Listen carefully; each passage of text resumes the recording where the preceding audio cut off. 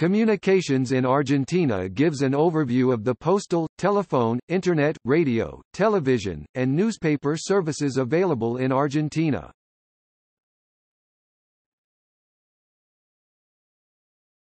Topic: Postal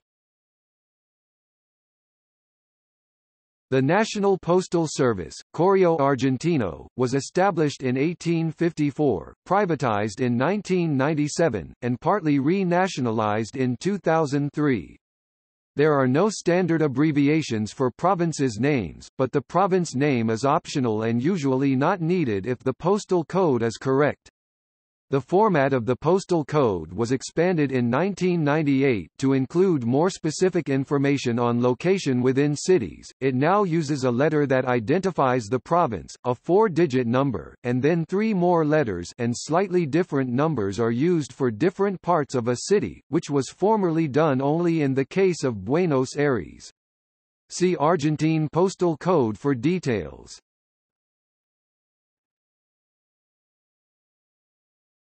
Topic: Telephone. The network was initially developed primarily by ITT, and grew following the system's nationalization in 1948 and the creation of the Entel state enterprise. Its limitations notwithstanding, Entel gave Argentines the widest access to phone service in Latin America. Following Entel's privatization in 1990, a new numbering plan was enacted, and the number of lines grew to cover the majority of households. A sizable minority of households, do not have landline telephone service, however. The growth of the mobile telephone market since the beginning of the economic recovery in 2003 has been impressive, with new customers now preferring a comparatively cheap cellular phone to landline household service. As of January 2010, there are 9.2 million landlines, 50 million cellular phones and 143,000 public phones in the country.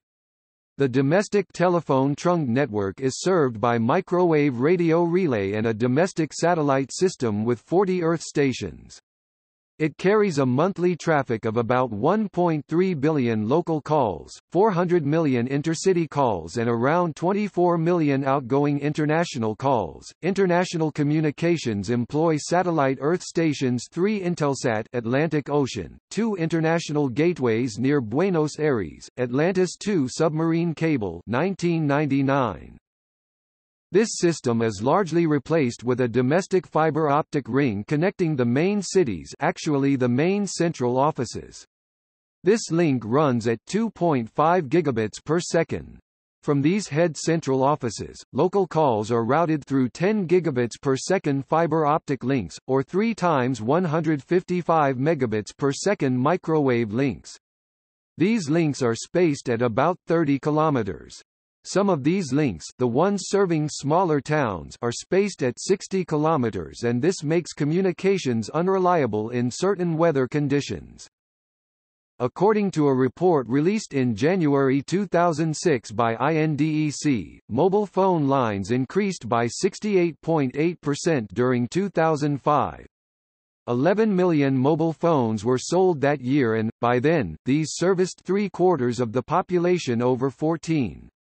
A growing minority of users are children under 14, something that has raised concern and debate in Argentine society. A private study conducted by Investigaciones Económicas Sectoriales IES, covering January to October 2006, found a 51.2% growth compared to the same period of 2005. By December 2007, the number of these units 40 million exceeded Argentina's total population. Most of the phones almost 90% are imported from Brazil or Mexico. The monthly volume of calls made with these units over 4.6 billion more than doubles the number made on landlines. A further 6 billion text messages are sent monthly.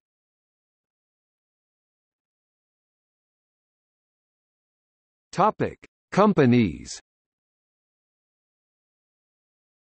In the 1990s the Argentine telephone system which was formerly property of a state-owned company, Entel was sold to two private corporations looking to invest in the local market, Telefónica, a telco from Spain, and Telecom Argentina, owned by Telecom Italia and the Argentine Wertheim family. The country was divided in two zones, within which one of the companies was the exclusive provider of the service a state-sanctioned monopoly. The service was then deregulated in several steps, first allowing the participation of other companies to provide international phone call services, then mobile services and finally the domestic service. Telecom has a subsidiary Internet service provider, Arnet.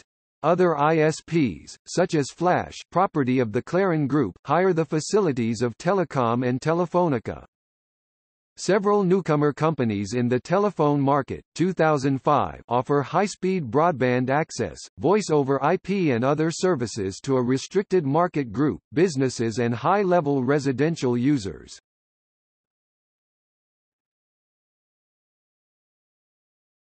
Topic: Internet The number of Internet users in the country as of 2011 has been estimated at 27 million, two-thirds of the population. The number of registered domain names was approximately 1.7 million in August 2008 and the number of Internet hosts in 2009, 6,025,000. Besides monthly paid Internet connections either flat rate or with a number of free minutes, in Argentina there are also a number of Internet service providers that have commercial agreements with the telephone companies for charging a slightly higher communication rate to the user for that communication, though without any monthly fixed fee. There were around 12 million PCs registered in Argentina in 2011.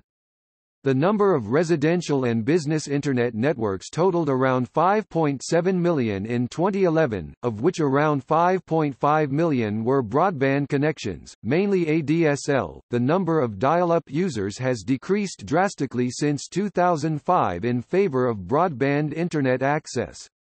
This latter service grew from under 800,000 networks in late 2005 compared to over 500,000 dial-up connections, to nearly 2.6 million by December 2007, and to over 5 million by late 2010 82% of which were residential and 81% of which connected at a speed of least 512 kilobits per second. Wireless and satellite networks expanded markedly during 2008-09, and totaled over 1 1.5 million in March 2011. Among residential users, 38.3% were located in Buenos Aires province including Greater Buenos Aires, 26.0% in the city of Buenos Aires, 8.2% in Córdoba and 7.4% in Santa Fe province. Among companies and organizations, 788,000 connection contracts were valid as of March 2011, 98% of which were broadband. Among the total in late 2010, 44.7% correspond to the city of Buenos Aires, 21.1% to the Buenos Aires province, 7.6% to Santa Fe province, 6.0% to Córdoba province and 4.5% to Patagonia. The number of email accounts in March 2011 was estimated at around 4.56 million, with a monthly traffic of 3 billion messages. Argentina's internet top-level domain is r.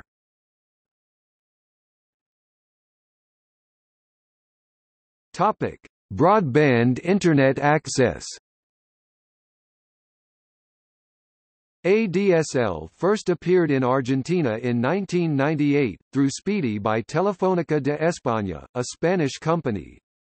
Fibertel, a cable provider, now offers cablemodem service in a limited range of cities, and ADSL is monopolized by the two major phone companies, Telecom in the north with Arnet ADSL, and Telefonica in the south with Speedy ADSL.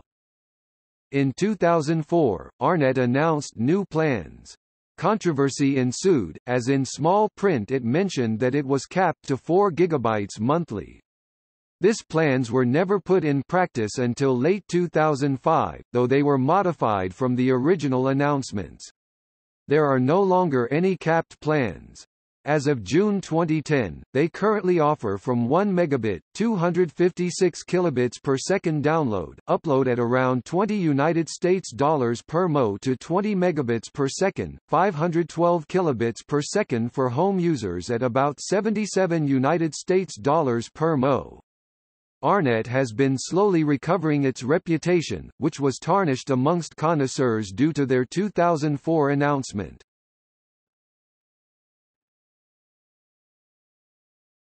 Topic: Censorship Argentina is not individually classified by the OpenNet initiative, but is included in the ONI Regional Overview for Latin America. The regulation of Internet content addresses largely the same concerns and strategies seen in North America and Europe, focusing on combating the spread of child pornography and restricting child access to age-inappropriate material. As Internet usage in Argentina increases, so do defamation, hate speech, copyright, and privacy issues. Argentina has strengthened intellectual property rights protections by drafting and updating laws and ratifying international agreements such as the WIPO Copyright Treaty. Since the 1997 Presidential Declaration regarding free speech on the Internet that guarantees Internet content the same constitutional protections for freedom of expression, Argentina has become a haven for neo-Nazi and race hate groups around the region.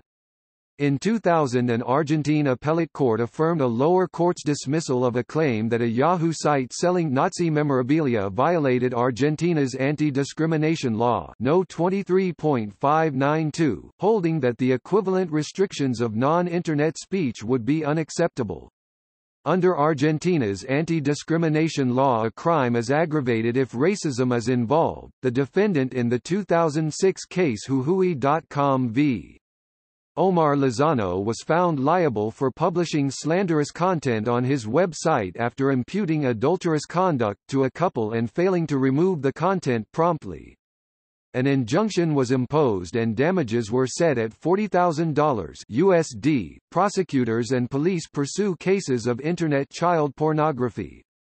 In June 2008 the Congress passed a law criminalizing child pornography, however, the law does not penalize possession by individuals for personal use. In 2010 an appeals court overturned a lower court ruling that found Google and Yahoo liable for defamation for including sex-related websites in their search results for an Argentine entertainer. The appeals court ruling said the firms could be held liable for defamation only if they were made aware of clearly illegal content and were negligent in removing it. In August 2011, a judge ordered all ISPs to block the site Leakymails, a website that obtains and publishes documents exposing corruption in Argentina. In response some Internet service providers blocked the website IP address 216.239.32.2 which is linked to more than 1 million blogs hosted on Google's Blogger service disrupting the access to all of them. In November 2012 the CNC Spanish, Comisión Nacional de Comunicaciones ordered the blocking of websites that contained information about bootloader unlocking of netbooks supplied by the Argentine government. The legality of these actions in Argentina remains controversial. In July 2014, the CNC (Spanish: Comisión Nacional de Comunicaciones) ordered local ISPs to block the Pirate Bay due an injunction of CAPIF (Spanish: Cámara Argentina de Productores de Fonogramas) against the popular torrent index. CAPIF is an Argentine music industry group and a member of International Federation of the Phonographic Industry IFPI. The CNC is an agency of the Argentine government created to certify wireless devices, to regulate communications by radio, television, wire, satellite, cable and postal services. In retaliation for the blocking, the online site of CAPIF was hacked and turned into a Pirate Bay proxy server. As of 2017, any and all websites previously blocked are no longer blocked due to public criticism and lack of interest.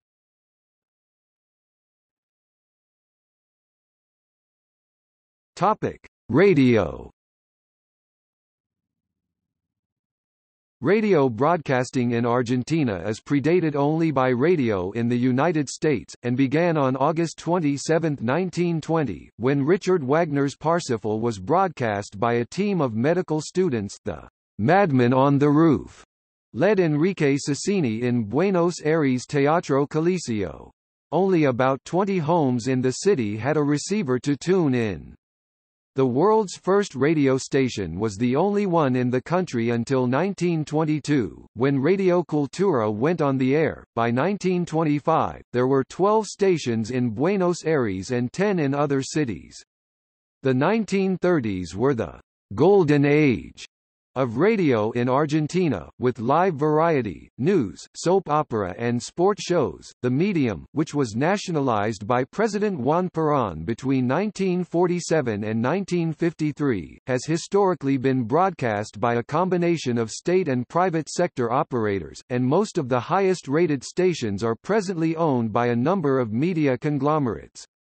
Internet radio was first broadcast in Argentina in 2001 and by 2009, 61 stations did so. Nationwide, there are currently 260 AM broadcasting and 1150 FM broadcasting radio stations in Argentina. Radio remains an important medium in Argentina. Music and youth variety programs dominate FM formats, news, debate, and sports are AM radio's primary broadcasts. Amateur radio is widespread in the country. Topic: Censorship. The Federal Broadcasting Committee COMFER has continued to apply certain broadcasting regulations that were instituted during military rule. One such article, banning creation of permanent privately owned networks, was used to revoke the FM radio license of Radio Continental in 2008. Critics pointed out that the relevant law had been selectively applied and accused COMFER of attempting to suppress criticism of the government. A 2018 court case punished Radio 10 host Baby Echecopar for comments made in his show, El Angel, Prosecutors collected eight pages of allegedly sexist remarks by Echecopar and devised a programming schedule which they say, promotes tolerance. To avoid a harsher sentence, Echecopar agreed to invite 20 gender specialists onto his program to speak uninterrupted for 10 minutes at a time with no criticism following the appearance.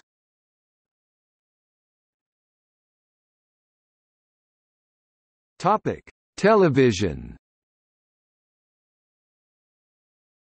The Argentine television industry is large and diverse, widely viewed in Latin America, and its production seen around the world. Many local programs are broadcast by networks in other countries, and others have their rights purchased by foreign producers for adaptations in their own markets. Argentina has five major networks. All provincial capitals and other large cities have at least one local station. Argentines enjoy the highest availability of cable and satellite television in Latin America, similar to percentages in North America. Many cable networks operate from Argentina and serve the Spanish-speaking world, including Utilísima Satelital, TYC Sports, Fox Sports en Español with the United States and Mexico, MTV Argentina, Cosmopolitan TV, and the news network Todo Noticias. Argentine television broadcasting began in 1951 with the inaugural of state-owned Channel 13 since privatized. A technology jealously guarded by U.S. broadcasters at the time, this was largely the achievement of Jewish Argentine engineer and radio pioneer Jaime Yankelevich. Color television broadcasting, however, was not widely available until after 1978, when the government launched Argentina Televisora Color ATC, now Channel 7 Argentina's principal public television station. The prevalence of cable television, increasing steadily since the first CATV transmitter opened in the city of Junin in 1965, is now the third widest in the world, reaching at least 78% of households. Radio and television broadcasting, whose ownership structure had become increasingly concentrated since the 1980 media law, is regulated by a new law advanced by President Cristina Kirchner, and signed on November 11, 2009. This new policy would restrict the number of media licenses per proprietor and allocate a greater share of these to the state and NGOs, thereby limiting the influence of the Clarín Group, the largest media conglomerate in Argentina and other media companies, such as the conservative La Nación. There are currently 42 television broadcast stations and 12.5 million television sets in Argentina.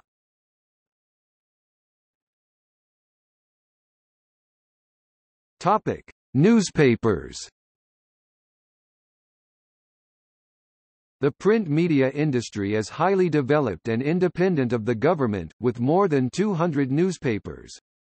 The major national newspapers are from Buenos Aires, including the centrist Clarín, the best-selling daily in Latin America and the second most widely circulated in the Spanish-speaking world. Other nationally circulated papers are La Nación center-right, published since 1870, Pagina, 12 left-wing, Ambito Financiero business conservative, Olé sports and Crónica populist. Two foreign-language newspapers enjoy a relatively high circulation, the Argentinisches Tageblatt in German and the Buenos Aires Herald, published since 1876. Major regional papers include La Voz del Interior, Córdoba, Rio Negro, General Roca, Los Andes, Mendoza, La Capital, Rosario, El Tribuno, Salta, and La Gaceta, Tucumán. The most circulated news magazine is Noticias. The Argentine publishing industry, which includes Atlántida, Eudeba, and Emecé, among numerous others, ranks with Spain's and Mexico's as the most important in the Spanish-speaking world, and includes the largest bookstore chain in Latin America, El Ateneo. See also